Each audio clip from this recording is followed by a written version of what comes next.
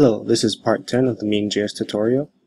So in our last video we just started writing our end-to-end -end tests and now we're going to finish that up.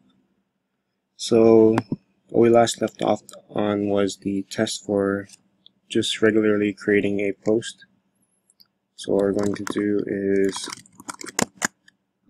navigate to the create page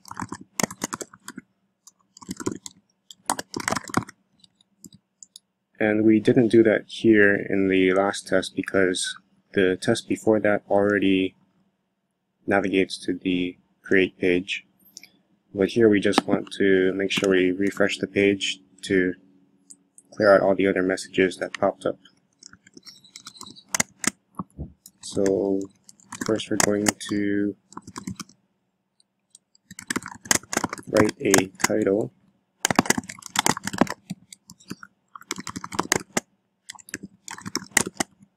and then write in the text field. Then we're going to click on the submit button. That's button type submit.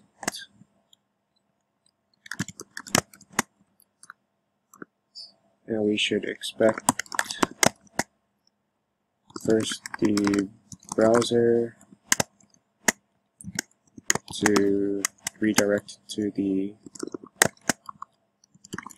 forum page.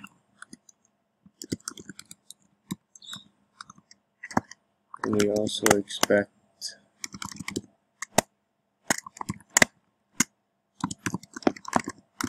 so we can use this by repeater method to get our ng repeat object. We're just going to make sure the count is 1, since there should be one object in there. And what we're going to do next is write our,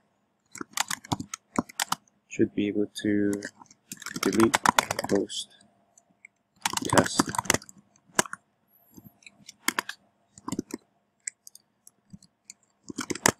So we're going to make sure it navigates to the forum page. And then we're going to click the delete button, which should be the one with the button.danger class.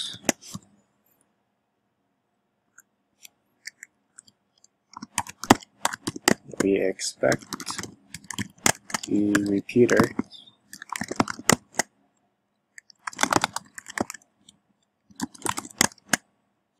To be 0 and we expect the current URL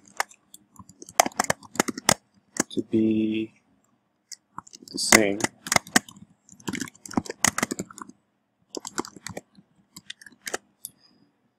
So let's go ahead and run our tests and see what happens.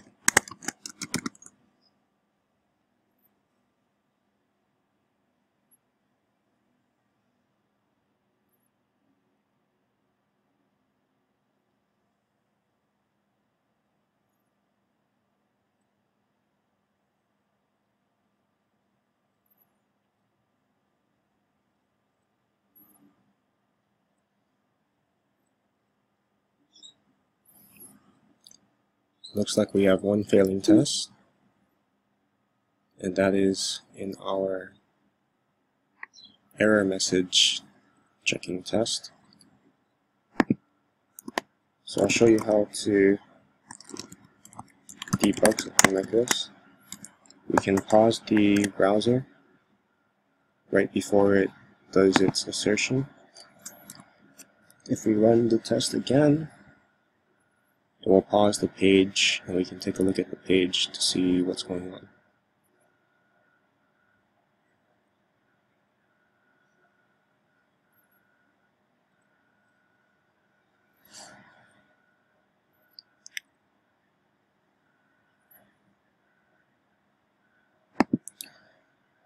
So we want to see the required post title error message here, but it looks like we forgot to, in our create view, we have to put the required tag back into the form field. And you can run the test on your own machine again but this video we'll just move on to the next part.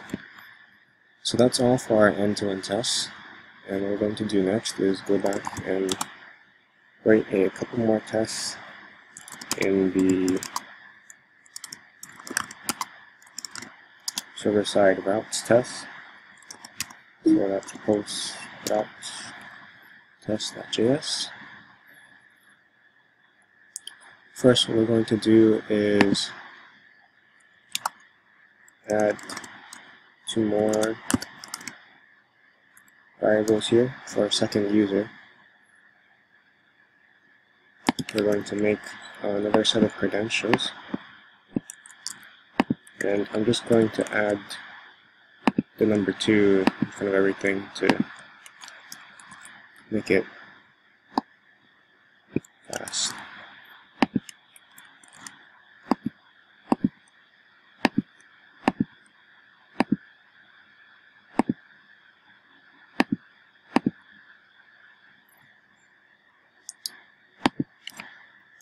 So then we should save our second user.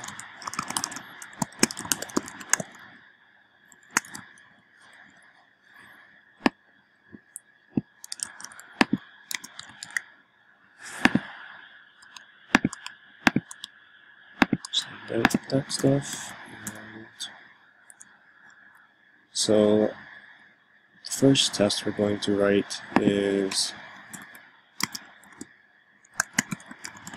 should not be able to create a post if not signed in.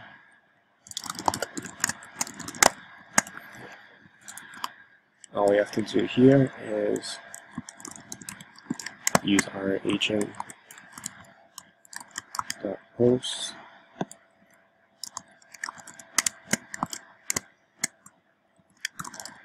and just like the previous test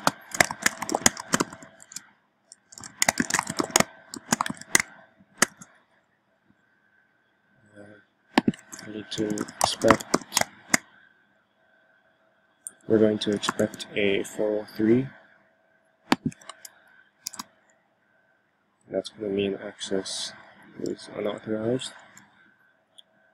And all we need to do is there's an error. Return error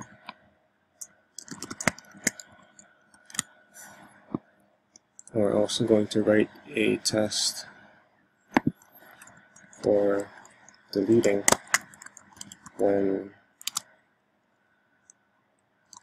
we're in we're logged in as the wrong user.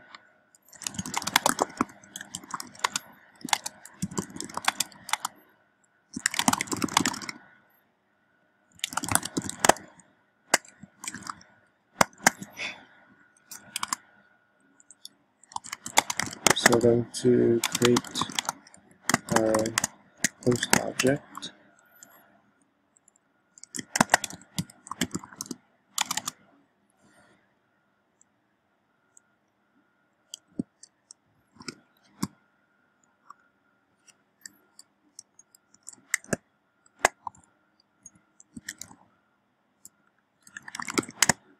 And we're just going to save our post. And don't forget to set the post author in the previous test since we may have missed that in the other video.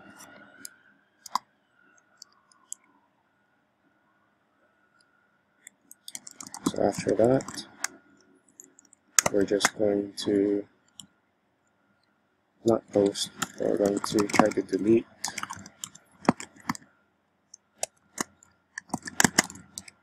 our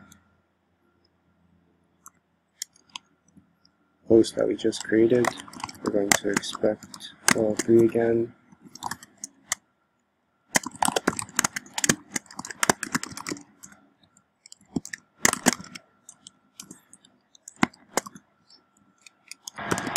And we're just going to return the error there is one.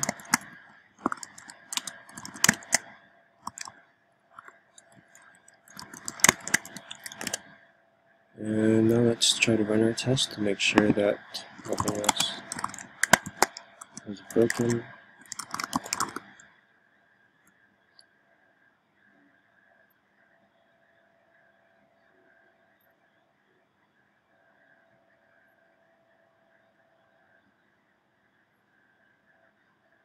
So there's our two new tests that should be failing since we haven't set up the access policies. And now we're going to do that. So since there's no generator for the policy file, we're just going to create it from scratch. It's going to be located in our forum module, server, policies, and it's just going to be called post.server.policy.js. I'll put use strict at the top. And we're going to be requiring the ACL module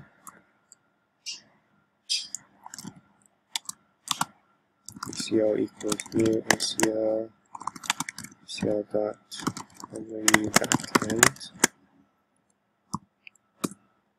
So to define our access policies, we need to create this method.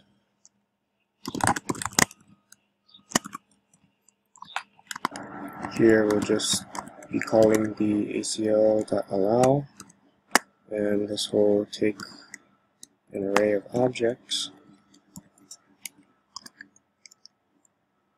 and each object will have an array of roles and allows.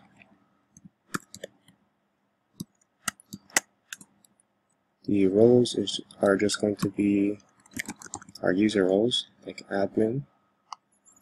And in the allows, there will be an object with our resources and permissions. So the resources is just going to be our route and the permissions is can either be an array or in this case we're just going to give it universal permission for every command. I'll need to write another one for our route with the parameter.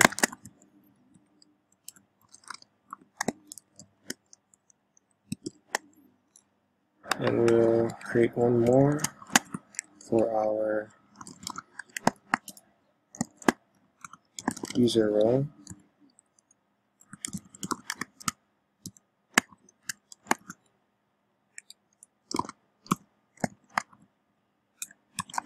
the same resource route.